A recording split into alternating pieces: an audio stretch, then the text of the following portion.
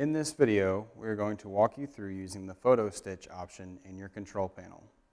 The first step in using your photo stitch option is to insert your USB into the back of the panel that is containing your image. From there, we'll select the design folder, then we'll hit the SES button. Next, we will hit the landscape button in the lower left hand corner and we will select the image and then hit the check mark. Next, we will hit the arrow. And now your machine is converting the image to a stitch format.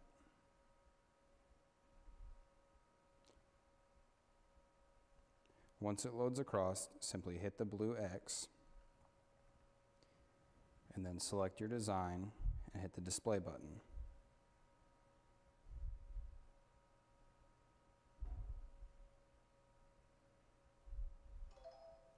Hit yes. And that is how easy it is to use the photo stitch option.